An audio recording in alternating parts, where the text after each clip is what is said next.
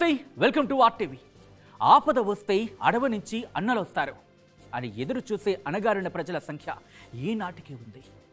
భూస్వామ్య పెట్టుబడిదారి విధానాలకు గిరిజన భూముల రక్షణకు ప్రభుత్వంపై మావోయిస్టులు చేసిన ఉద్యమాలు ఎన్నో ఉన్నాయి. కానీ అవన్నీ పక్కదారి పట్టి ఏళ్ళు గడుస్తోంది. పోలీసులపై యుద్ధంతో మావోయిస్టులు మావోయిస్టుల ఏరవేతలో భాగంగా పోలీసుల పరస్పర దాడులతో పచ్చని అడవులు ఎరుపెక్కిన సందర్భాలకు లెక్కే లేదు. ఈ రెండు వర్గాల ఘర్షణలో ప్రజా సమస్యలు నీరుగారిపోతున్నాయి ఓవైపు మావోయిస్టుల ఉనికి ప్రశ్నార్థకంగా మారిపోయిన రోజులివి. మరో ఐదేళ్ళలో అవును మరో ఐదేళ్ళలో దేశాన్ని మావోయిస్టుల రహితంగా చేస్తామని కేంద్రంలో ఉన్న బీజేపీ సర్కార్ చెబుతోంది. ఇటు వరుస ఎన్కౌంటర్లతో దండకారణ్యం నిత్యం దగ్ధరిల్లిపోతోంది. ఎందుకీ అసలు మావోయిస్టులు ఎవరు? ఇండియాలో ఎప్పటి నుంచి ఉన్నారు మావోయిస్టులు నక్సలైట్లు ఇద్దరు ఒకటేనా మావోయిస్టులపై ఆనాడు ఎన్టీఆర్ ఏం చెప్పారు? చంద్రబాబు గతంలో ఏం చేశారు? మావోయిస్టులతో వైఎస్ఆర్ చర్చలు ఎందుకు జరిపారు? మావోయిస్టుల భవిష్యత్తు ఏంటి? ఇలాంటి ఎన్నో విషయాలను ఇవాళ తెలుసుకుందాం. నిజాం నియంతృత్వ పాలన నుంచి తెలంగాణ ప్రజలు విముక్తి కోసం భూస్వామ్య పెట్టుబడిదారీ విధానం వెట్టి చాకరీ విధానాలకు వ్యతిరేకంగా జరిగిన తెలంగాణ సాయుధ రైతాంగ పోరాటంలో నాడు మావో సిద్ధాంతాలకు అనుగుణంగా పోరాడిన వారు చాలామంది ఉన్నారు.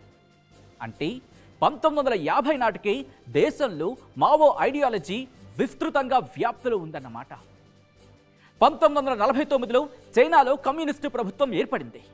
పీపుల్స్ రిపబ్లిక్ ఆఫ్ చైనా స్థాపనకు మూలమైన సుదీర్ఘ సాయుధ పోరాటానికి నాయకత్వం వహించిన వాడే మావో.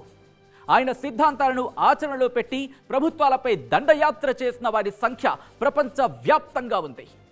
ఇది తెలంగాణ సాయుధ రైతాంగ పోరాటంలోనూ కీలక పాత్ర పోషించింది. ఇప్పుడు మనం పిలుస్తున్న మావోయిస్టులు భారతీయ చట్టాల ప్రకారం ఓ నిషేధిత సంస్థ. చాలా మంది మావోయిస్టులు నక్సల్స్ ఒక్కటే అని అనుకుంటారు. నిజానికి ఇవి రెండు వేరువేరు పంతొమ్మిది వందల అరవై ఏడులో పశ్చిమ బెంగాల్ డార్జిలింగ్ జిల్లా నక్సల్బరి గ్రామంలో సాయుధ రైతాంగ తిరుగుబాటు నుంచి నక్సల్ అనే పదం పుట్టుకొచ్చింది. వీళ్ళంతా కమ్యూనిజం సిద్ధాంతకారుడు కాల్ మార్క్స్ ఐడియాలజీని అనుసరిస్తారు. అదే టైంలో మావో లెనిన్ సిద్ధాంతాలను కూడా ఫాలో అవుతారు. ఇక దేశంలో కమ్యూనిస్టు పార్టీ బ్రిటిష్ కాలం నుంచే ఉంది. కాన్పూర్లో డిసెంబర్ ఇరవై ఆరు పంతొమ్మిది వందల ఇరవై ఐదున సిపిఐని MN Roy Abani Mukherjee Evelyn Trent స్థాపించారు. అయితే ఈ సిపిఐ అనేక చీలికలకు గురైంది. సిపిఐ నుంచి communist party of India Marxist పంతొమ్మిది వందల అరవై నాలుగులో పుట్టింది. ఈ సిపిఐఎం నుంచి సిపిఐ ఎంఎల్ లాంటి పార్టీలు పుట్టుకొచ్చాయి. అంటే సిపిఐ ఎంఎల్ లాంటి పార్టీలు పుట్టుకొచ్చాయి. ఈ పార్టీలన్నీ ప్రజాస్వామ్యబద్ధంగా భారత రాజ్యాంగానికి అనుగుణంగా పార్టీని నడిపిస్తూ ఎన్నికల్లో పోటీ చేస్తాయి. అటు మావోయిస్టులు ప్రజా వ్యతిరేక విధానాలపై హింసా మార్గంలో ప్రభుత్వాలతో తలపడతారు. ఒక్క మాటలో చెప్పాలంటే మావోయిజం అనేది విప్లవాన్ని సాధించడానికి జరిగే ఓ సామూహిక సమీకరణ. సాయుధ తిరుగుబాటును విశ్వసించే ఓ ఆలోచన. ఇక మావోయిస్టుల విషయంలో ఆంధ్రప్రదేశ్ ముఖ్యమంత్రులది ఒక్కొక్కరిది ఒక్కొక్క వైఖరి.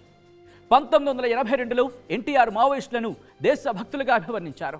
పంతొమ్మిది వందల ఎనభై తొమ్మిదిలో అప్పటి ఆంధ్రప్రదేశ్ కాంగ్రెస్ ముఖ్యమంత్రి చెన్నారెడ్డి కూడా మావోయిస్టులను దేశభక్తులుగా చెప్పారు. ఆ తర్వాత ముఖ్యమంత్రిగా చంద్రబాబు వైఖరి ఎన్టీఆర్ చెన్నారెడ్డిలకు పూర్తిగా భిన్నంగా మారింది.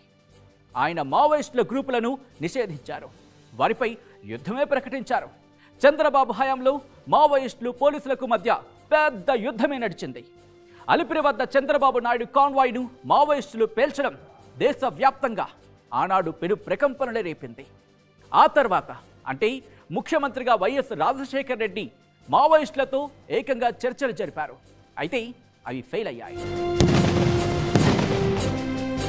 అటు నిషేధిత సంస్థ అయిన మావోయిస్టులలో రిక్రూట్మెంట్లు పెరగడానికి చాలా కారణాలున్నాయంటారు విశ్లేషకులు.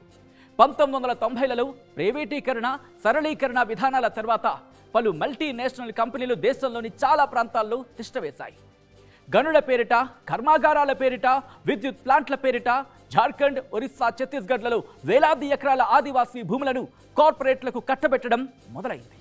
అభివృద్ధి పేరిట కొనసాగుతున్న ఈ జీవన విధ్వంసానికి వ్యతిరేక